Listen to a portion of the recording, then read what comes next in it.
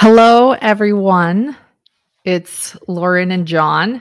Um, we had plans to be on separate on a split screen so that we could you could see John better, but uh, my computer's not working, so here we are. Right, we get to be side by side for Christmas, so special occasion. And share a mic. right, sure. So tis the season. Thank you, everyone, for joining us tonight. We know that it's busy for a lot of people, but we also know that um, a lot of people are home tonight, like us, and we just wanted to do something special. And it's Friday, TGIF. So happy holidays uh, to everyone. Hello, Elena and Leanne and Poppy Cat and Julie Holden. You're with us. It's so good to see you. Thank you. I told all my mods, don't worry about being on tonight. We know it's Christmas. And so Julie, thank you for being here. So, what are we going to? Oh, and if everyone could hit subscribe on our YouTube channel, that would be so helpful. And I think that we have comments tonight on YouTube, subscribers only. That just sort of helps us keep things a little bit uh, slower. So if you want to comment, just make sure you hit subscribe. So I will give this to Dr. John, babe. So we decided we might wade into slightly treacherous water tonight and talk about the uh, JonBenét Ramsey case. Lauren and I actually have a little bit of history with this case because uh, we were married in 2016 and that marked the 20th anniversary of the JonBenét Ramsey case. So a number of documentaries and updates came out in around Christmas of or you know December of 2016, and we watched all of them. And we it seems like every holiday season we have some debate about the John Benet Ramsey case. So um, obviously it's it's one of the most covered cases in the history of true crime. So uh, and people have very strong opinions about it. So uh, I think we're we're kind of venturing into um, you know murky water here a little bit, but um, we do have opinions and we'd love to talk about it and take questions. And um, tonight actually marks the 25th anniversary of this particular case. And it's, it's while the parents in 2008 were, um, I don't want to say acquitted, but they were, um, they were exonerated to some extent by the DA at the time. That was controversial. Um, the case still remains open and it's unsolved. Yes. Colette, it's good to see you here tonight too. So, right, before we begin, um, you're right. This is a very, people are very passionate about their opinions on this case. And so, John and I recognize that what we share are our opinions as professionals and people that have read a lot about the case. Um, but they are our opinions, and we'll also take questions about it. So, uh, yeah, so just keep that in mind. We understand that not everyone's going to agree with this, and and right, but we we care about JonBenét too as a victim. As a, I think there's one thing that we can all agree on, which is a little six year old girl was murdered, and that's really what's most important, and that this case remains cold. If you want to say anything more about JonBenét?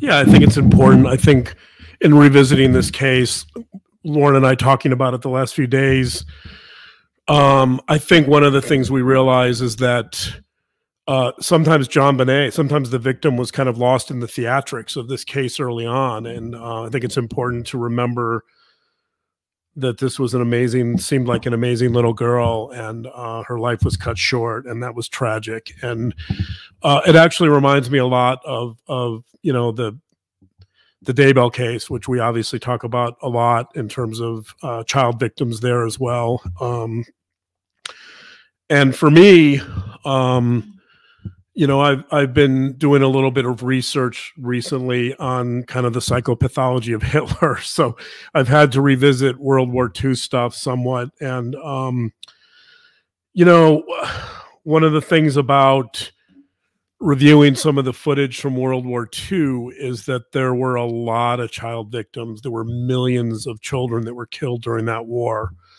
And it's just shocking to see for me it's it's shocking to see piles of dead bodies of children.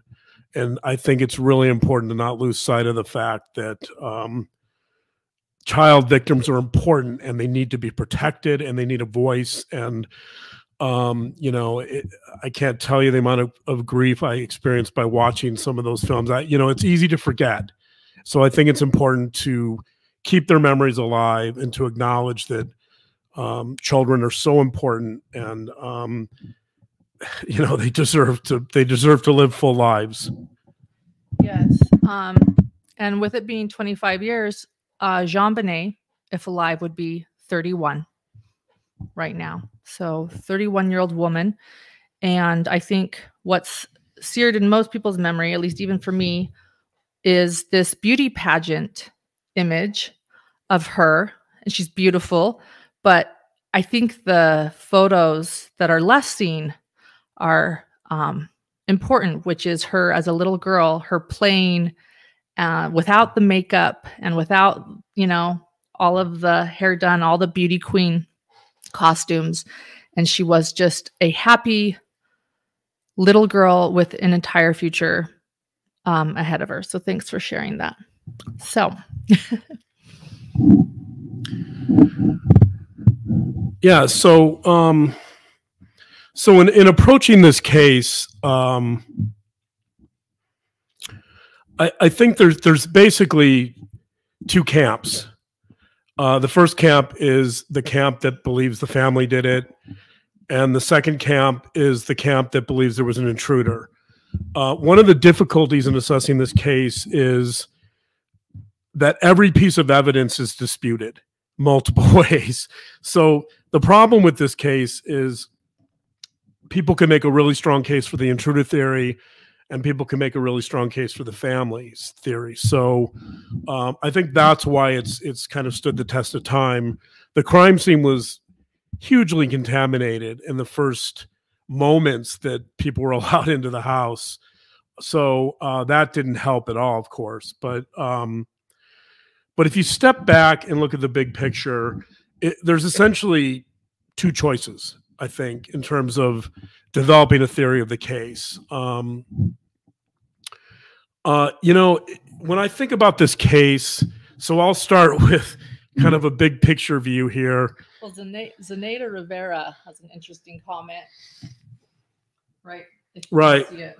Yeah, yeah. Um, right, exactly. So that would be that would be the family theory that um, that there was an accident and the family covered it up and um, just to let the cat out of the cat out of the bag. That's sort of that's our position as well for the most part, um, and we'll get into that a little bit. But um, I want to start with.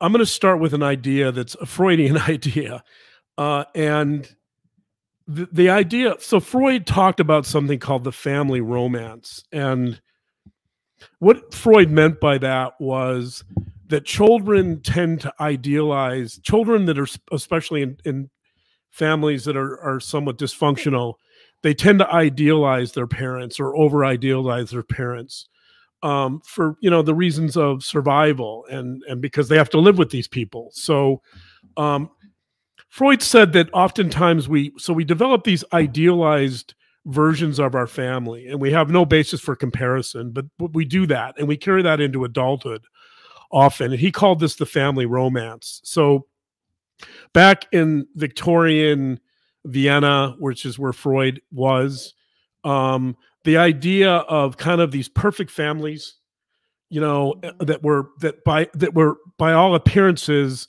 um, you know, well dressed, well mannered, right? They were they were considered to be moral. In many cases, they were religious. Um, that kind of set the standard. And I, think Freud was very interested in looking behind that surface and looking some of the some of the pathology that existed behind that surface. Um, but when you when you step back and really look at this case from the largest perspective, I think what we're really talking about is something like the family romance in terms of one theory kind of valorizes this idea of the ideal perfect family, which would be the intruder theory. Because the basic idea behind the intruder theory is that a family like the Ramseys could never, ever do something so heinous. Even in the exoneration in 2008, the DA at the time said, I don't think they were capable of doing this. She wasn't basing that on evidence. She was basing it on the fact that she had this ideal notion of what a family like the Ramseys looks like. So there's that theory. And then there's, you know, the opposite side of the family romance is that you have a family that, beneath all appearances, is extremely dysfunctional. They're not what they seem to be, and they're capable of committing this type of heinous crime. So you really have two philosophical positions with the Ramseys. Um, you know, the intruder theory essentially is is letting them off the hook because it's it's it's too painful for people to possibly acknowledge that a families like the Ramseys, which is a wealthy family, it's a privileged family, they have a beautiful home. All the pictures they take around Christmas are like totally curated and perfect, right? Like people don't want to believe that there's something sinister lurking beneath the surface of this type of family. Um, and so I think that's what really, you know, it's interesting because Lou Smit, who developed the intruder theory, Lou Smit when he was describing the reasons the Ramseys couldn't have done it, before he even really was investigating, he said, you know, they didn't do drugs, they didn't drink. Like he had this little checklist of the perfect family. This is Freud's family romance. This is the idea that a family like the Ramseys is incapable of committing something so heinous. So it must have been an intruder. So you look at like one of the things that Lou Smit used to to justify that position was the window that, that somebody broke into the window the glass was broken. But there's there's another side to that which is that in the first day or so during the investigation one of the police officers asked john ramsey the father about the broken window. And john said oh yeah i broke it because my key i didn't have my key and i needed to get in the house and so I simply needed a way to get in. He basically told you there was no intruder in that moment, right? So, but but because of confirmation bias, when you start with the premise that a family like this can't possibly doing something do something so heinous, you're going to find information that's going to confirm that perspective the whole way, including something as simple as John Ramsey saying, "You know what? I broke the window." I come in that way. I've come in that way several times. Like that doesn't matter, right? So it becomes an intruder came in and broke the window, and the whole thing, you know, melds to fit the theory at hand. Well said. and I'm glad you mentioned confirmation bias because I think a lot of, in my opinion, confirmation bias did play in this for what for all the reasons you just said. We have a few interesting comments. Um, Jean Marie says that she's convinced. Jean Marie says she's convinced that Patsy wrote the letter. Patsy is JonBenét's mom. And then Leanne Hicks says Patsy's handwriting was a huge red flag.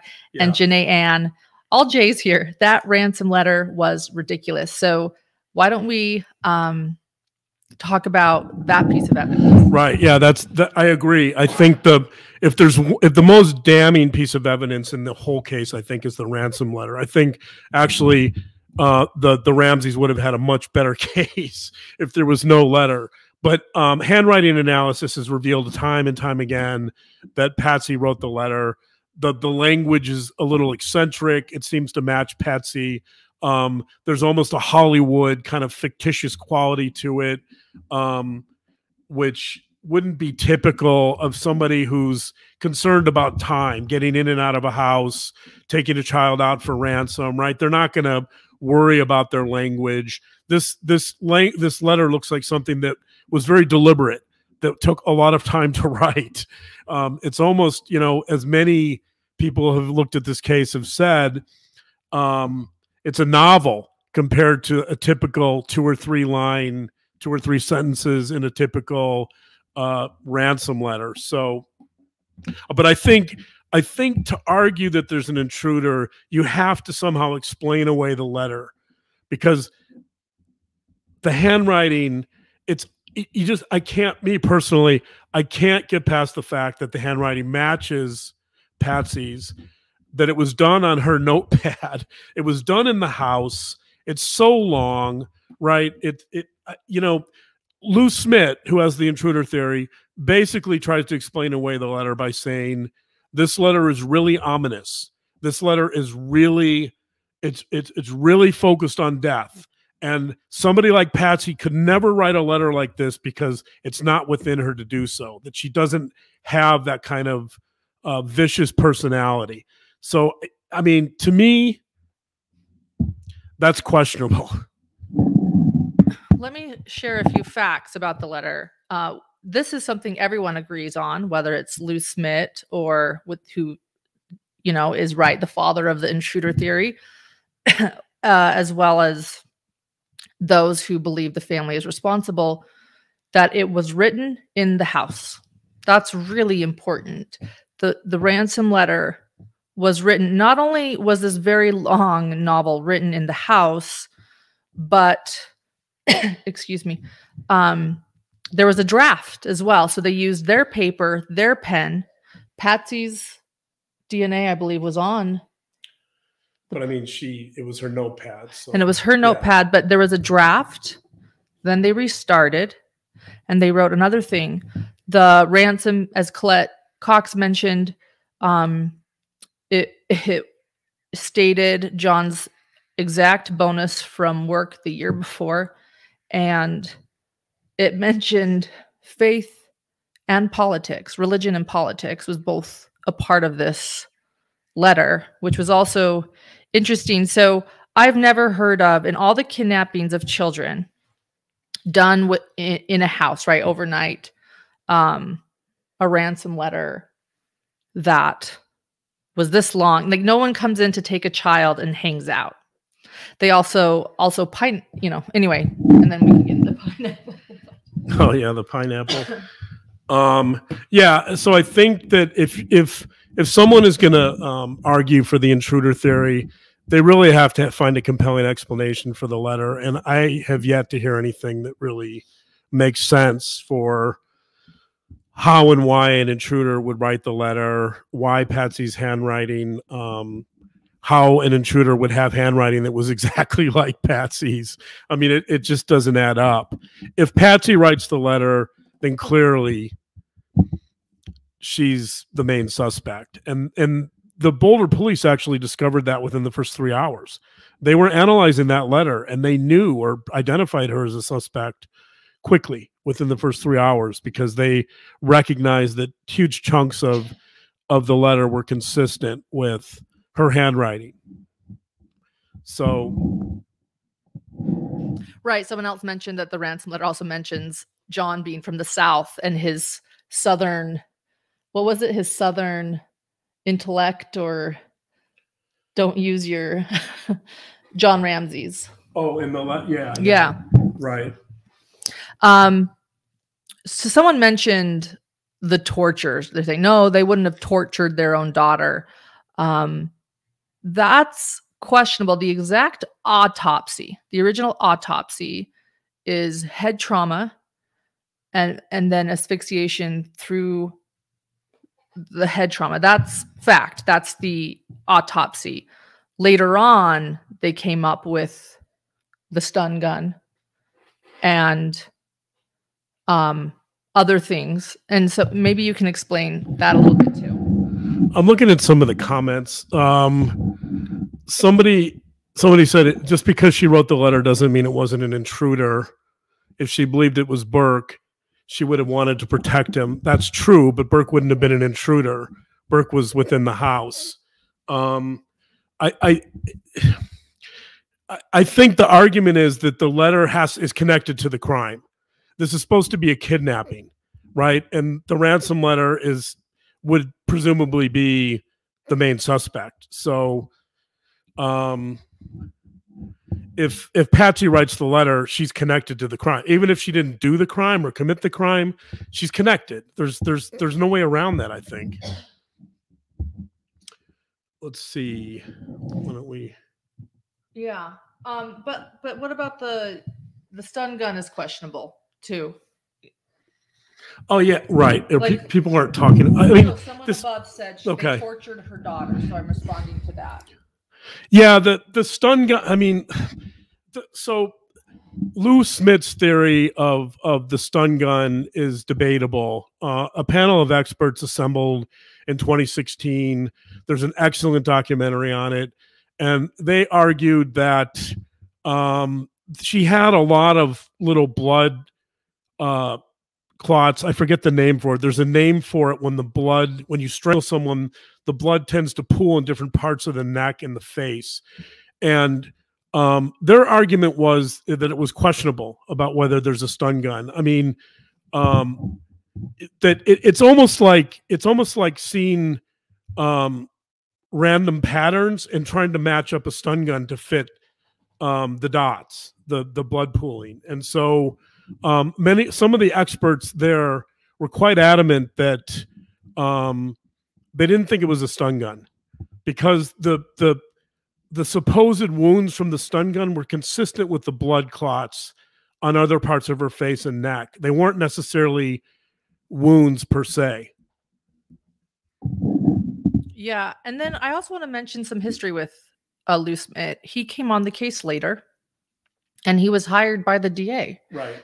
Meaning he had a reason to do the intruder theory. That was his purpose, essentially. But yeah, Patakia, Patakia. Thank you. Some one of our listeners described what it is. It's, that's what. That's exactly right. and then um some other things so and then as well as the those that are saying that the handwriting analysis was not patty some people are saying that thank you barbara so much merry christmas happy holidays not everyone celebrates christmas you know um tho- those people were also hired by the da so just keep that in mind Right. The DA. So, one of the interesting things about this case is the DA clashed with the police. The police had a clear theory that the family did it, and the DA was was more on the side of an intruder. So, Lou Smit comes in. Um, Lou Smit comes in and, and endorses the intruder theory, um, which is consistent with the DA's bias. So, did that play a role? Um, I don't know. I mean, according to Lou Smit, obviously it didn't, but um, but it's certainly another interesting part of the case that you know the hired gun in this case um, is clearly siding with the faction that believes there's an intruder and not the family. And then throw in the fact that after all of that, she was killed in the house and left in the house. Um, yeah, and all of the police, uh, the first, the police first on the scene, what they saw, even though evidence was, you know, uh, tainted, they all, the the first officers on the scene, all believed the family was involved. So, um, and Leah Vogel, that thank you so much. Um, the actual handwriting analysis.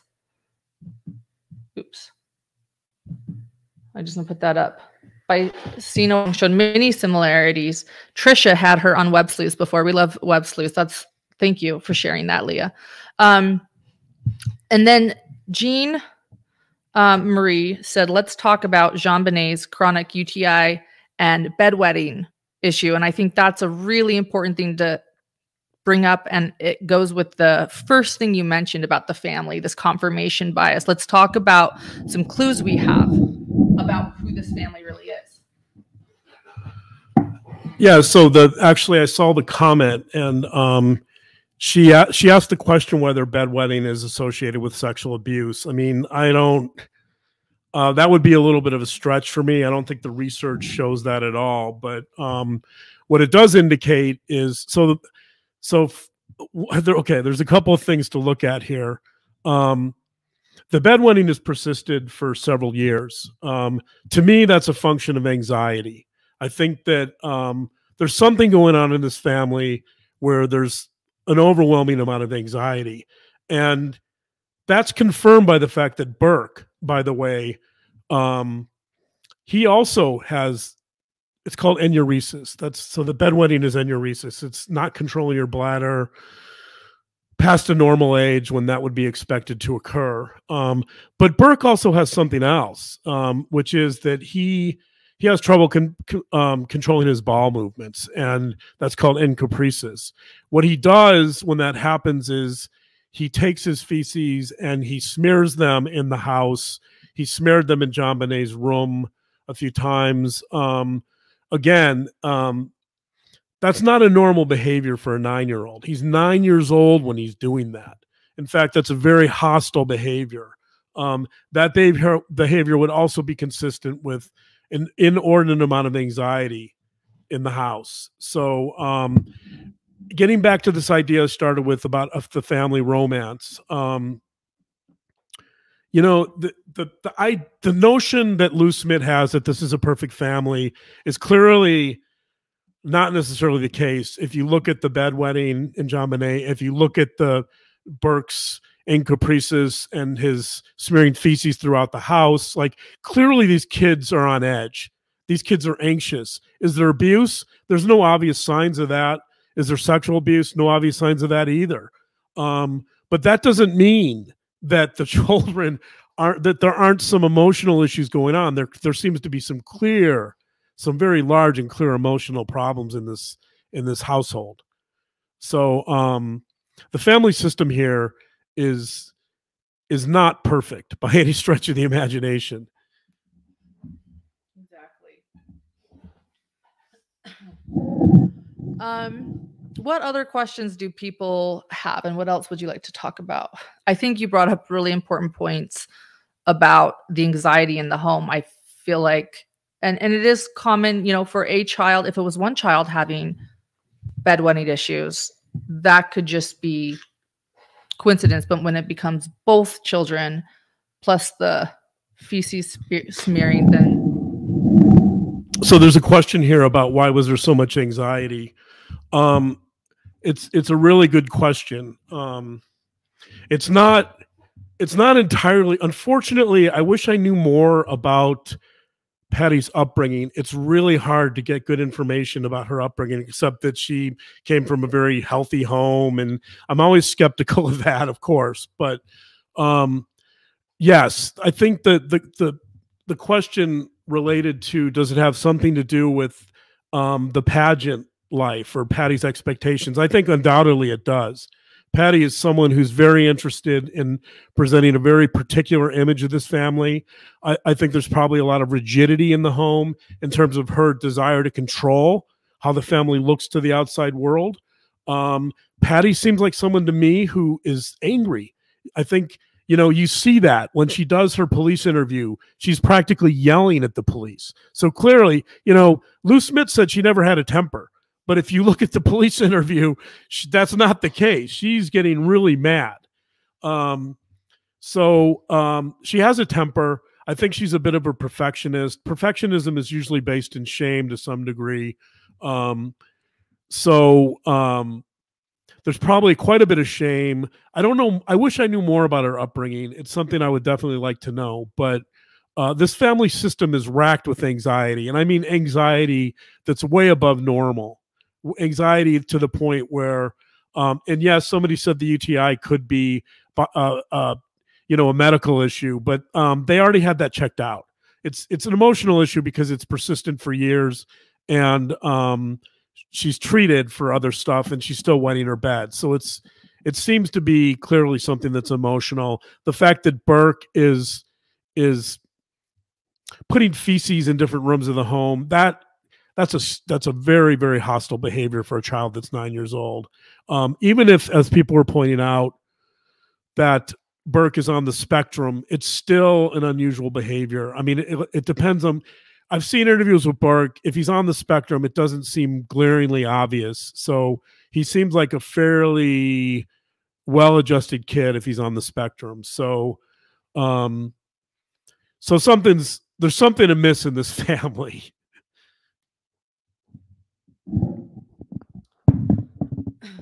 Someone says, so what's your best guess on who did it? And someone else mentioned, please look at this case more closely. We we have and we understand that there's going to be differing opinions. We have we've actually listened to full podcasts of the intruder theory. We've we've looked at a lot. So this is our opinion, our strong opinion, and but we have looked at quite a lot. Um, so T Diva, great question. I'm gonna pass the mic. um, yeah. What's the best guess on who did it? Well, I, I mean, I, I'm we I believe the family did it. How and why? Uh, I think one of the original detectives on this case, and I can't remember his name now. Uh, somebody would probably Steve. Somebody he wrote a book later. He resigned um, because of there was so much pressure from the DA that he was adamant in his belief that the the incident started with bedwetting. Patty lost her composure. Um, she he believed that he took JonBenét into the bathroom. She may have slipped and hit her head, uh, rendering her partially unconscious, and then the rest was a cover up. In 2016, in some of the documentaries, they suggest that Burke was responsible in some way. That Burke may have hit her over the head with a flashlight. Um, the, the the wounds are consistent with a flashlight wound. Um, according to one of the forensic pathologists who's really, really adamant about that. The flashlight you can see sitting on the kitchen counter uh, isn't even taken seriously by police in 1996. But there's pictures of it, and the wounds are consistent with that. So, um, what do I think? I, I think it's probably some type of accident that then becomes covered up. You know, there's there's different types of of violence or aggression. Um, generally speaking there's there's violence which descri- was described as instrumental violence and that's that's violence that's premeditated that's violence that's planned and then there's reactive violence and that's not planned and usually you'll see uh, instrumental violence will occur like in murder one charges uh, and reactive violence you'll usually see in manslaughter cases so um, not always you know most prosecutors like to go for murder one. They like to argue that everything's premeditated, but um, I, I I just don't see with the with the letter and the handwriting matching up. I just don't see how you can move away from the family in terms of specifics. I mean, of course, we'll never know, but I think it's it's probably likely that there was some type of accident and then some some type of cover up. Someone's saying we need a piece of felt under the on under the stand of the microphone. So we'll we'll lift it up and and here let, let's try this. And why don't you get a couple of these for yours? So when you set it down. yeah, we weren't planning on sharing a mic and both being in here, so we'll lift it and they're saying it scrapes really loud. Oh, okay. that's what I'm saying. Okay. So when we lift it, um, thank you, Canine Handler, for your comment. It's uh, she suggests it's because her mother expected JonBenét to be perfect and that she grew up with a mom who forced her into pageants. Um, and then Julie Holden posted something. Where is it? And I want to share it because, yes, this is true. Is it true that Patty was still wearing par party clothes she'd been wearing for a party the night before? If so, that seems like a big clue. Yes, Patty had not changed clothes since the night before. I mean, in other words, she could have put the same clothes back on, but right. It she is that better? Is that better? she she right. She did she didn't sleep that night, essentially. She wore the same clothes. If she did, she went to bed with her clothes. Obviously, she was busy doing something, writing a letter or covering up evidence, whatever was going on. But um and also John Ramsey, the father, he when police came into the home, he was nowhere to be found for the first hour and a half. So there's some suspicion there too. Why wasn't he with the police? And the police thought it was a kidnapping. They weren't prepared for that. They didn't know what to do. They didn't close off the crime scene. So it was a disaster. Patty also called her friends over I mean, it seems to me that there was some deliberate attempt to contaminate the crime scene, or if not that, then to buffer herself from the police, to create a wall between herself and the police so she didn't have to answer questions. Or to ignore the ransom letter's threats, which is don't tell police, don't tell anyone. And now, and she's inviting everyone over. You know, she's also not heeding the warnings. Someone's mentioning the pineapple. Yeah, the pineapple. The pineapple. the pineapple is a is an amazing piece of evidence because generally speaking, um, also the pineapple goes hand in hand with a scream that one of the this isn't widely known, but there was a scream around midnight that is believed to have been JonBenét's that the neighbor heard, and they said it was one of the most blood curdling, awful screams they had ever heard. Um, why they didn't call police because of that, I don't know. They said that the scream happened very quickly and then it was shut off. So, if, and that was around midnight. So, um, the pineapple theory is important because the pine we know that JonBenét had pineapple at some point that evening. We know also that it wasn't fully digested. Pineapple, if you're alive, pineapple will digest quickly. But in this case, it didn't. So she got up at some point that evening ate some pineapple, and was killed fairly soon after she ingested the pineapple, which which speaks strongly against the intruder theory because as some people have pointed out, it's highly unlikely that she sat down with the intruder and enjoyed pineapple with him her that night. So um, the fact that the the also Patsy's uh, fingerprints were all over the bowl with the pineapple and the spoon.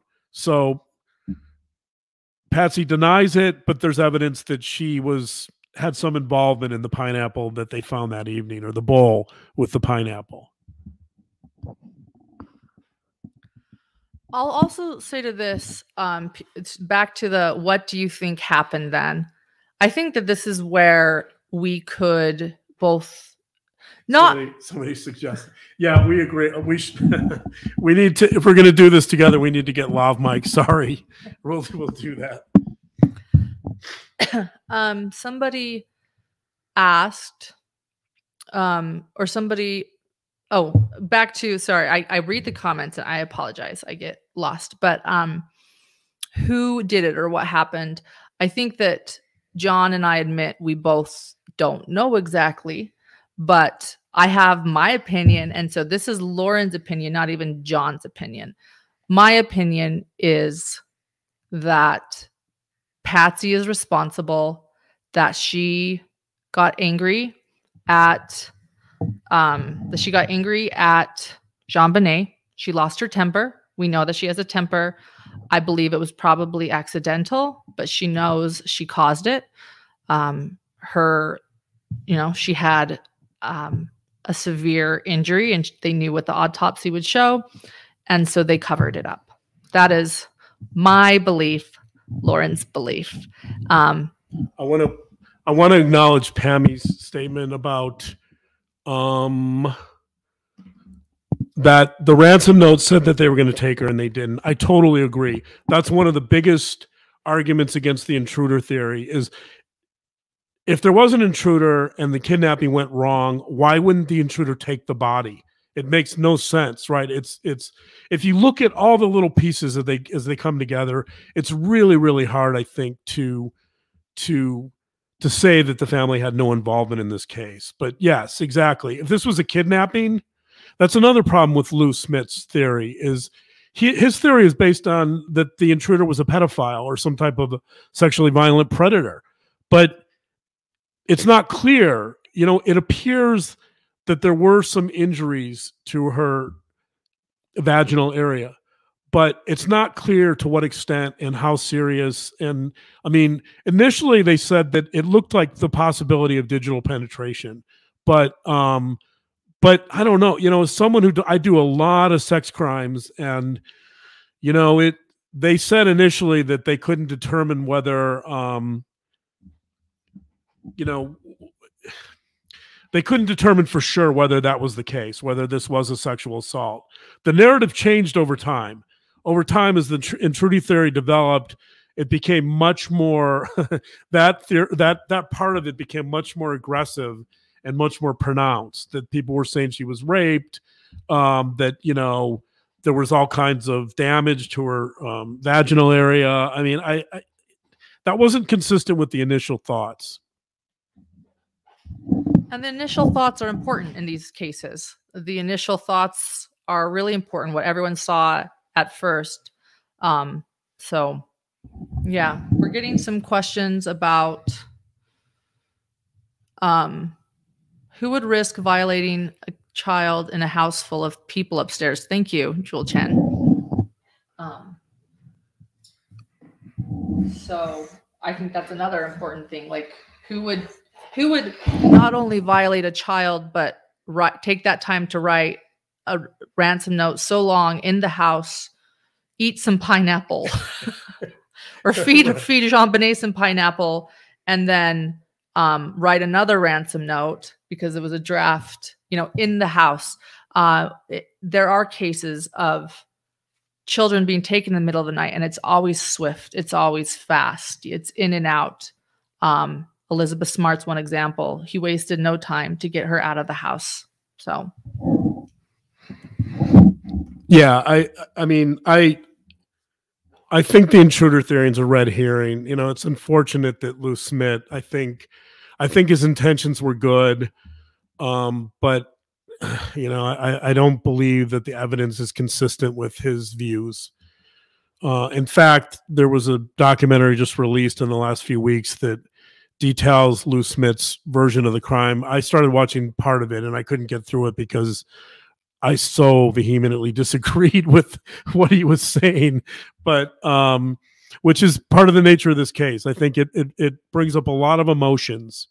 Um, but I have to I keep going back to if for Lou Smit, I keep going back to this idea that at the very beginning, he kind of laid out why he felt there was an intruder, and it had nothing to do with the evidence. It had to do with the fact that this was a good family that didn't drink, they didn't do drugs, they went to church.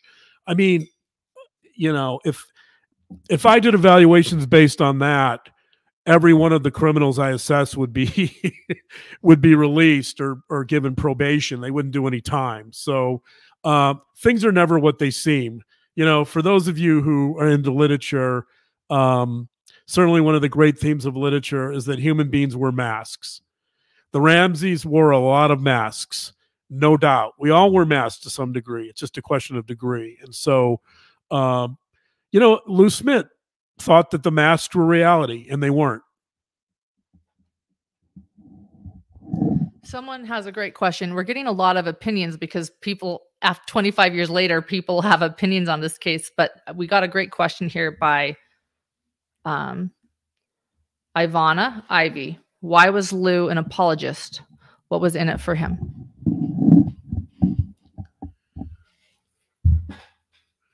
Well, he was hired by the DA. The DA believed that there was an intruder. So I think that I think that created some bias right away. Um, in terms of why he was an apologist, I mean, I think I don't. I I think you know it's hard to say this about a seasoned homicide investigator, but I think there was some naivete.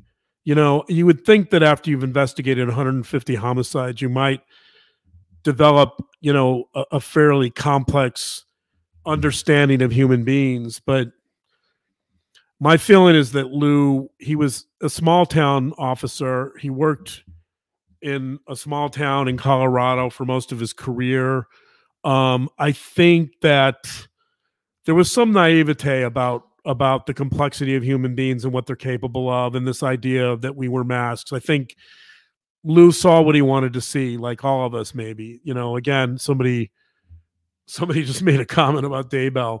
Um, you know that that you know the, how how that's very true of the Daybell case, the masks. Um, but I, I think I think for some people it's very threatening to think that beneath the surface that there there lurks something, you know, sinister in human beings. Uh, I mean, and and as I said earlier, as someone who's now going back over World War II, I, I don't even I can't even um, begin to fathom some of the atrocities that were committed there. It's just unbelievable what human beings are capable of. So sometimes it's easier to to to believe in a family romance and that people are, you know, good to the core no matter what, and that's probably not true. I turned the mic towards me and cough. Sorry. Back to Julie Holden's uh, comment. People thinking masks are reality. Why is this is why Lori Vallow got away with so much, killing Charles Vallow in particular. On Dateline, John, you talked about how Lori Vallow went into the police station after Charles was killed and left with a victim's advocate. right. You know, I think Right. that that's a great example, would you say, of Yes. how people wear masks? Yeah, I think Daybell's. Yes, Daybell's a little more complex in some. Oh, I don't know, maybe not. Um, uh, there are maybe some similarities. There's a similarity of filicide, of course, but um, but yeah, um, Um, there was another question somebody had, and I'm looking.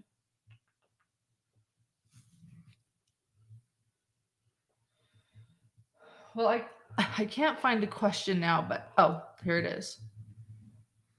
Zenaida Rivera. yeah, that's a great question, right? So the the grand jury came back with an indictment, um, not for murder, but for involvement in the crime. Um, why did the DA go against it? Because the DA thought there was an intruder. Because the DA, I think the DA also there there's some political implications here that we don't know about. I think the DA, you know, I don't want to go too far with this, but I, the DA I think was very conservative. Uh, Boulder was a town where people weren't tried for murders ever, for homicide ever.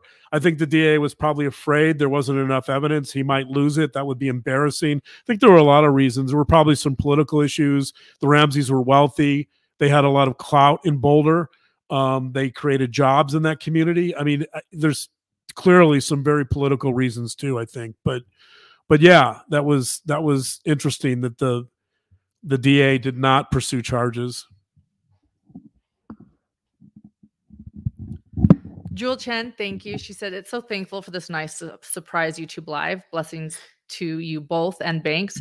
I'm actually drinking caffeine right now because John and I are going to be up really late uh, hanging out with Santa Claus. And uh, so thank you. Yeah, but we we wanted to do this. It's Friday and uh, we wanted to do this. But if any, everyone could do something for us tonight, it would be the greatest Christmas gift um, for us. Please subscribe to our YouTube channel. It would mean so much. It helps us uh, get noticed more on YouTube. And if you could please like this video, it would mean a lot to us. And that is how you could give back to us this Christmas. Yeah, there there's so many great questions coming in. Um, could you go to Pammy really quick? Could you pin that? Um, yeah, uh, so this is an interesting piece of the case that on on JonBenét's uh, leggings and underwear there were found some microscopic DNA that did not belong to any of the did not belong to the Ramsey family or anybody that they knew, and so the presumption was that that had to do with the intruder. Um, so one of the one of the issues there is that the the amount of DNA and and they were little specks of blood. Um, it was so minute. It was nanograms. Um, that you know they're, that they they could be explained by the manufacturing process. Um, people dispute that and they don't believe that, but this was a case where the DNA was was scrutinized so carefully. Like I forget, there's thousands and thousands of pieces of fibers and DNA and analysis. It was looked at the the forensic evidence was looked at so closely in this case that they were finding like these little little minute things that you'd never find in a typical crime scene investigation and and this was one of those things and so um does that prove that there was an intruder? No it's it's it's another gray area. Is it possible? Yeah i guess so but you still have to explain the note. You still have to explain the ransom note and you'd have to argue that the intruder wrote that note and not patty patsy. Yeah. I appreciated uh, Jean Marie's um, acknowledging someone with a different perspective on this case that she's reading and acknowledging, and and we respect that too. You know, these are we're sharing our theory, so um, everyone is allowed theirs. Hazelnut, thank you so so much. um, we're grateful to be doing it too. And and a lot of people mentioned they like us seeing us side by side. So maybe we'll have to buy some lav mics or figure out a way to get a good setup. Um, right now, we don't have the most ideal setup to be in the same room, but we, we will work on it. I'm sorry.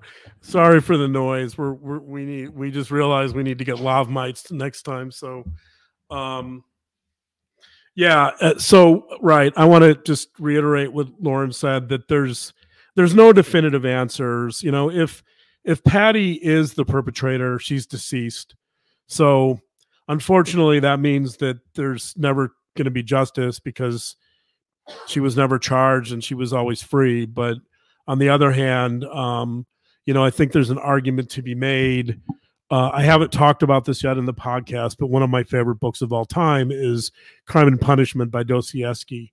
And why that is relevant here is because the perpetrator in that case, his name is Raskolnikov. It's fiction, of course, but Dostoevsky is is quite good at portraying things in a realistic fashion. Um, Raskolnikov thinks he can kill someone and get away with it without guilt. And in a nutshell, he's proven quite wrong. He's racked with guilt until he confesses. So, for those of you who haven't read it, I hope I didn't spoil it. But, um, but the but the point here is that there's some similarities, I think, with Patty. I think, in spite of Patty's anger and defensiveness and denial, which she maintained until she died of ovarian cancer um, in 2006, I think she was racked with guilt.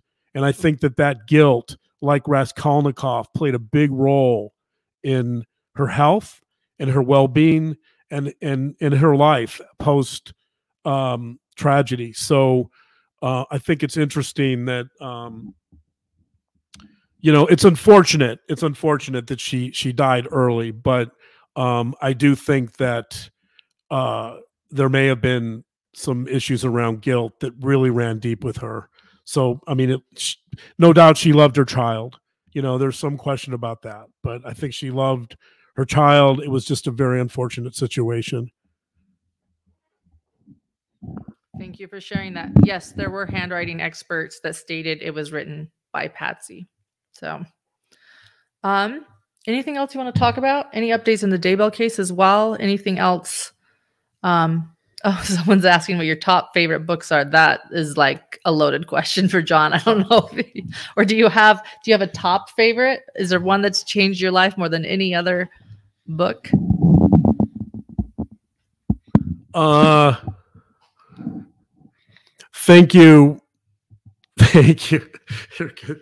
Uh what um you know the yeah, real that's a really hard question. Um I think if I had to if I had to take some books to a desert island and read them over and over, they'd probably be Shakespeare. So Macbeth for the criminal mind, um, King Lear for family stuff, uh, Hamlet just for the complexity of Hamlet and for depression, um, Othello for the nature of relationships and possessiveness and jealousy, um, most of Shakespeare's tragedies.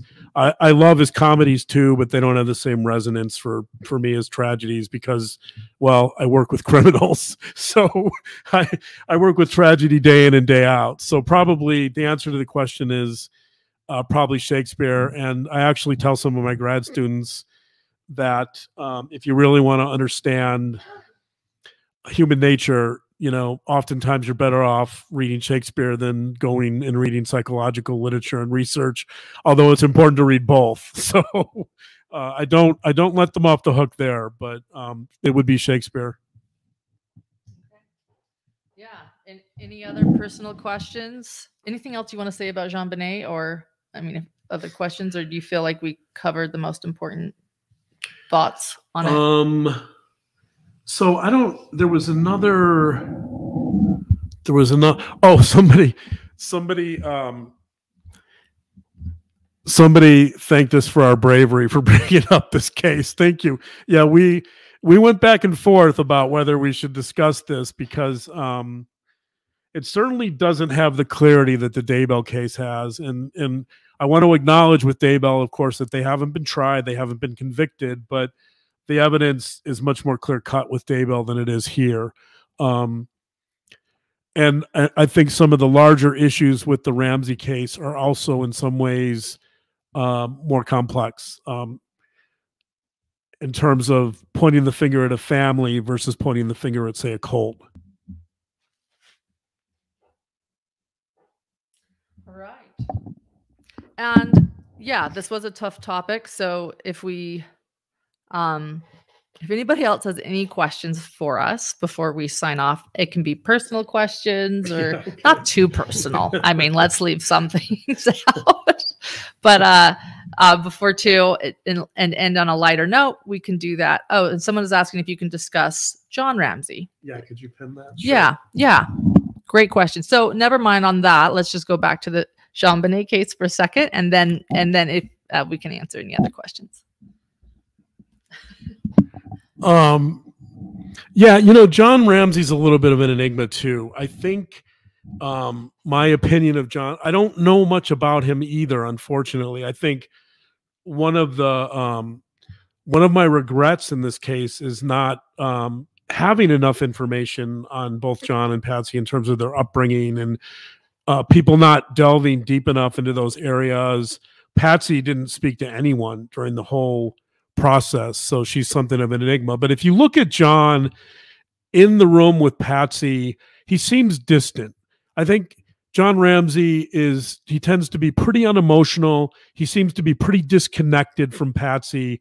Uh, I don't know about the nature of the marriage, but I think, and this is speculative, but I think it's it's reasonable to assume that their marriage wasn't particularly close. Sure, he stayed with her until the end, probably out of loyalty. However, I think one of the dysfunctions in this family was that Patsy was getting her emotional needs met through the children.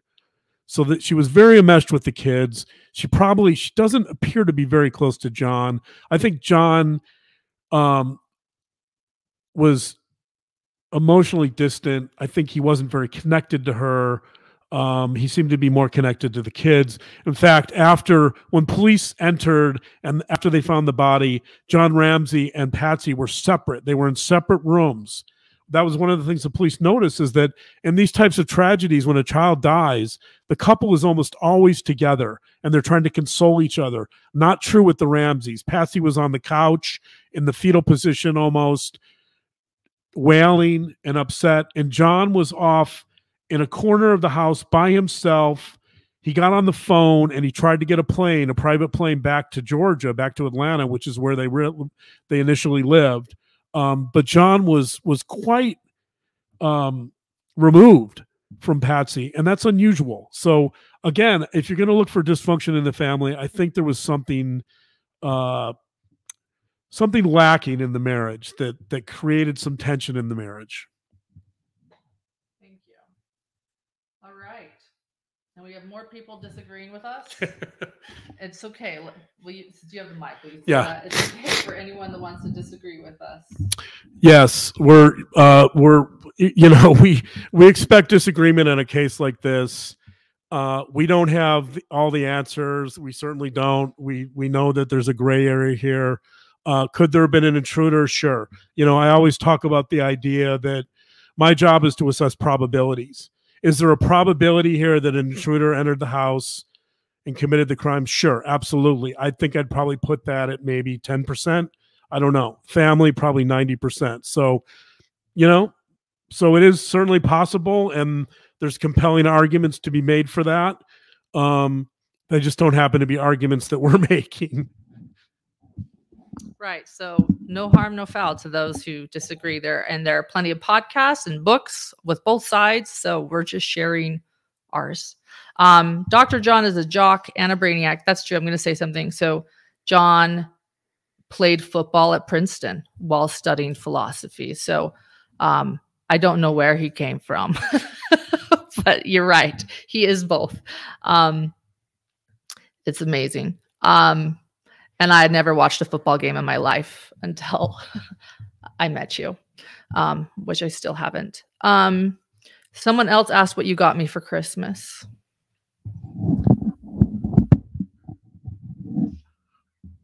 since I've already given her this present, I can say, but I got her some some Apple earbuds. And and for the lipstick I'm wearing, I don't remember. Pamela asked that.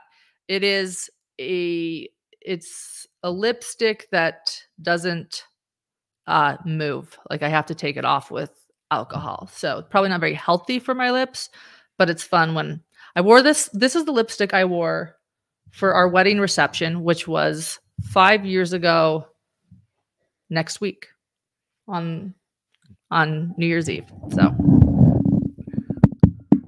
Okie dokie, thank you. Could you could you post that comment? Yeah, I'll find it. Thank you very much. Many blessings to you too for Christmas and the holidays. Um, we really appreciate our listeners, of course. We acknowledge that we have wonderful listeners. We have a wonderful community in the true crime world, and we're so grateful, and we never forget that. And um, it's been a very good year. We we ended with the dream come true by meeting Keith Morrison and being on Dateline, so that was a lot of fun. We're very grateful for that. We recognize we never would have gotten there without you guys. So um, thank you very much. All right. And then somebody else asked, I missed a lot of questions what we had for Christmas Eve dinner. Um, absolutely nothing. but that's not usually what we do. We usually go to In-N-Out Burger, but it's been a pretty stressful day. So um we have not yet eaten. Or did you eat something? You said you were starving, so you're Yeah, trying no, to I haven't something. eaten either. We still might make it to In-N-Out because Lauren's mother is visiting us. So, uh, and Banks is asleep. So, um, uh, anyway, it's I noticed we're we, we're trying to keep this to an hour tonight, but um, because we have a lot of of gift wrapping to do, but.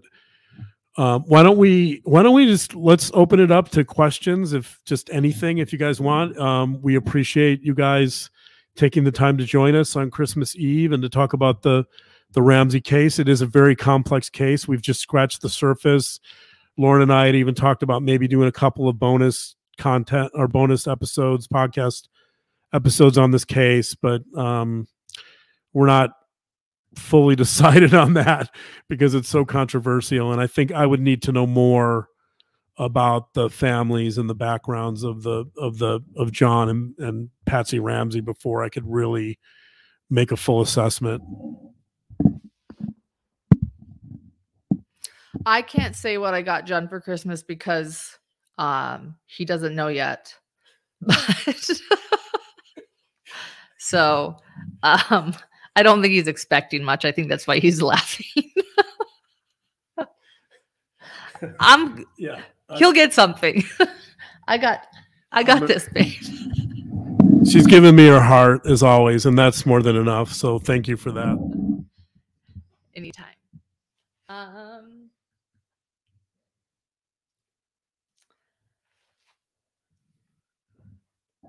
John doesn't follow the Delphi murders, but I do. Megan Music's asking my thoughts. I think that actually is one that I oops want to get John into, but I'm very interested in the new leads they have and um I I am hoping for justice for those two little girls so much so. Leanne Hicks is asking a um a JonBenét Ramsey question. What are your thoughts about the way she was tied up?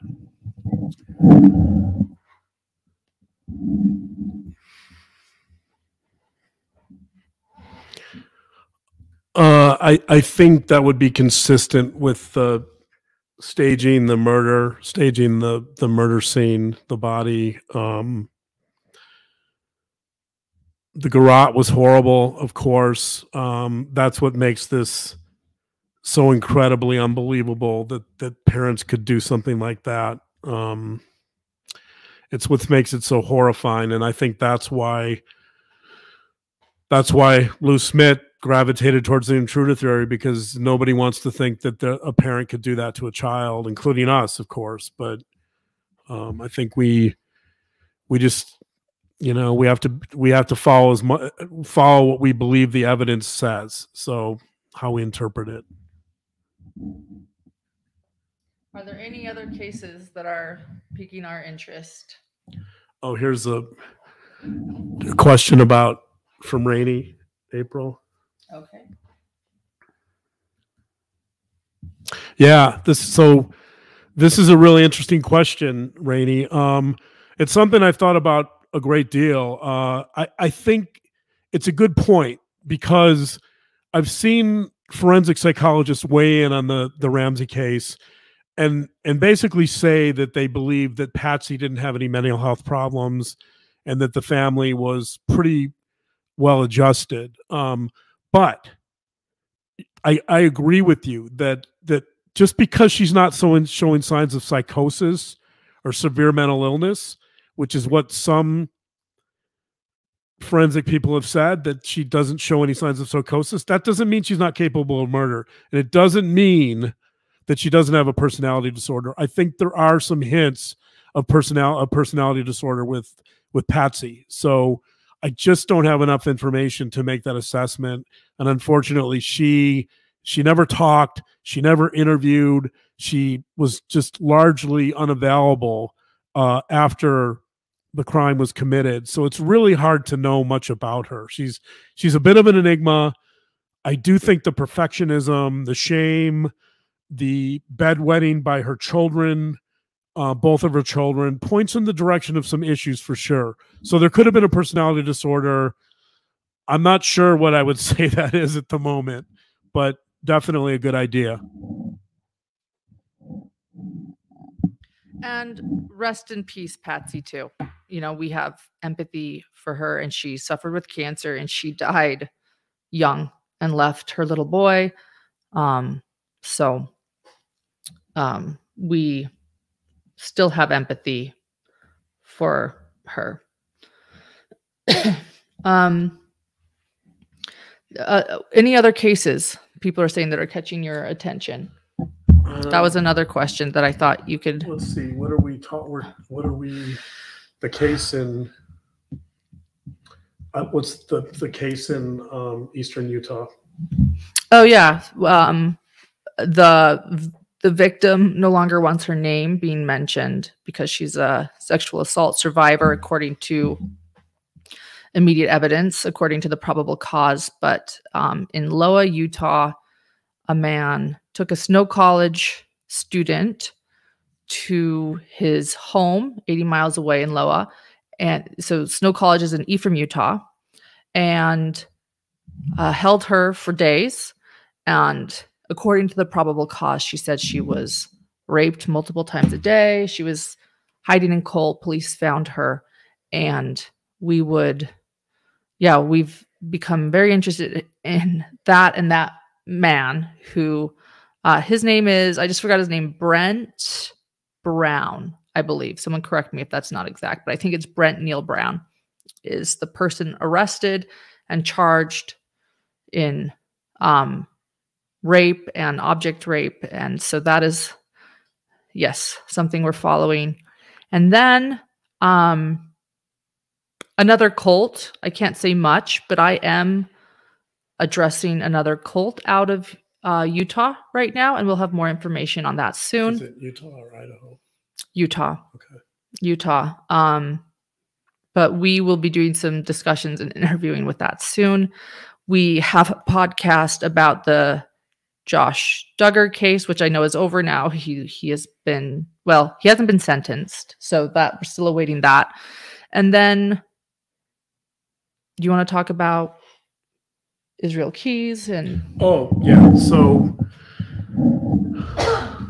so we yeah so we we still have some episodes left on Daybell. Um, one of the problems we're running into with Daybell is that they keep releasing more evidence and more documents, which makes it kind of a moving target. So well, we have a podcast episode coming out hopefully reasonably soon that we've had to go back and edit repeatedly because of the new information and um, we've learned that focusing on an active case is much more difficult than taking on a case that's already been adjudicated. So we are looking at Israel Keyes very closely, and um, that's going to be our second season. And uh, there's so many issues in there of interest to me um, that uh, we hope you guys will will listen to that and tune in.